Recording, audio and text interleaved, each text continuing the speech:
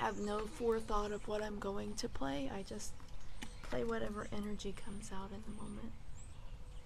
I have four singing bowls right now. Um, I have one that is a crystal singing bowl, 432 hertz in the key of G. That's this one. And I have, um, from the Ohm store, I have a Buddha bowl, which is good for healing, um, mental and physical and psychological healing. And I have the Yoni bowl, which is um, paired with the Lingam bowl, which are the feminine and masculine energies. And I think one is good for creativity, and I forget what the other one is good for, but for me, they represent the divine masculine and divine feminine. Now that I'm talking about all my bowls, the wind is blowing.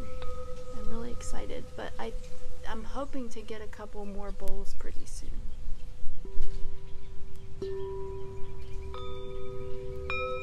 And I like recording these sounds and using these sounds for my art videos too because at heart I'm an artist and these sound videos, like these sound baths, are part of how I express my art, I suppose.